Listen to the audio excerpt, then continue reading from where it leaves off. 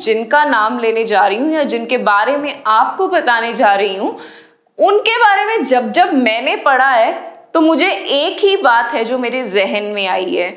औरतें ना तो सिर्फ़ धरती पर राज कर चुकी हैं, धरती पर अपना सिक्का चला चुकी हैं, बल्कि ये तो आसमान में भी अपना नाम लिख चुकी हैं।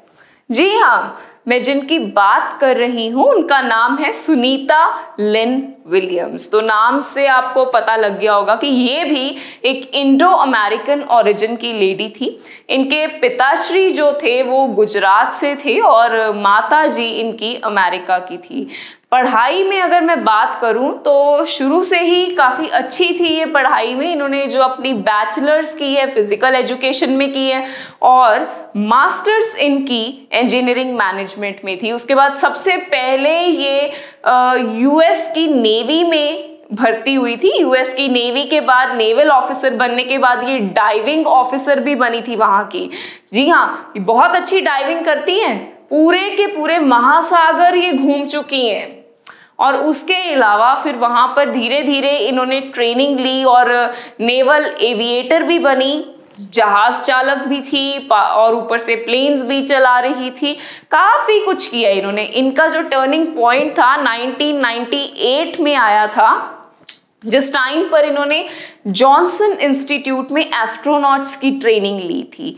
तो एस्ट्रोनॉट्स का उस टाइम पे एक ग्रुप जाना था जो स्पेस रिसर्च के लिए जाता है तो ये उसकी ट्रेनिंग ली, एक तरह से कह सकते हैं दोबारा से ग्रेजुएशन की। तो उसके बाद इन्होंने एस्ट्रोनॉट्स के ग्रुप का टेस्ट होता है सिलेक्शन होती है, उसको पास किया और फिर अपना पूरा वर्ल्ड रिकॉर्ड सेट कर डाला। 194 डेज़ 18 194 डेज़ और 18 आवर्स यानी कि ऑलमोस्ट सिक्स मंथ्स के करीब ये स्पेस में रही थी। अगर मैं आपको बता दूँ तो स्पेस का माहौल हमारे अर्थ के जैसा नहीं होता। यहाँ पर ग्रेविटी है तो हर चीज़ टिक जाती है, लेकिन स्पेस में कोई ग्रेविटी नहीं है। स्पेस में लोग तैरते रहते हैं, बिल्कुल उसी तरह से, जिस तरह से पानी में लोग तैरते हैं। तो बहुत ज़्यादा वहाँ का रहन सहन मुश्किल होता है। सांस लेना तक मुश्किल हो जाता है, एक पल के लिए। तो ये तो छः महीने वहाँ रहकर आई थी। बहुत बड़ा वर्ल्ड रिकॉर्ड था। यही नहीं, अगर ज़मीन पे बात करूँ तो आपको याद होगा पीटी उषा के बारे में, जो पूरे ज़मीन की मैराथन कर चुकी थी। ये ऐसी लेडी थी जो पूरे स्पेस की मैराथन कर चुकी थी और वो भी एक बार नहीं, तीन बार लगातार। तो इन्होंने पूरी थ्री स्पेस वॉक्स की थी। बहुत बड़ी बात है। इसी के वजह से जब ये वापस यहाँ आई थी तो उसके बाद एक बार ये गुजरात होकर गई थी अपने गाँव में अपने लोगों से मिलकर गई थी।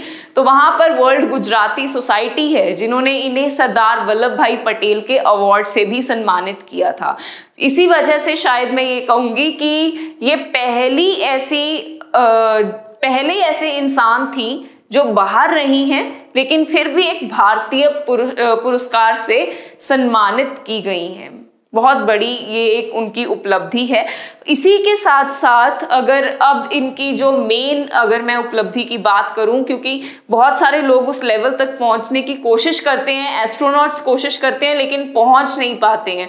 She is the second female commander of ISS international space station की ये दूसरी महिला कमांडर हैं। बहुत बड़ा लेवल है ये उस वक्त। और अब भी ये उस पोजीशन को जो है संभाल रही हैं। ये पोजीशन इनको 17 सितंबर 2012 में मिली थी और उस पोजीशन को इन्होंने बाखूबी निभाया था।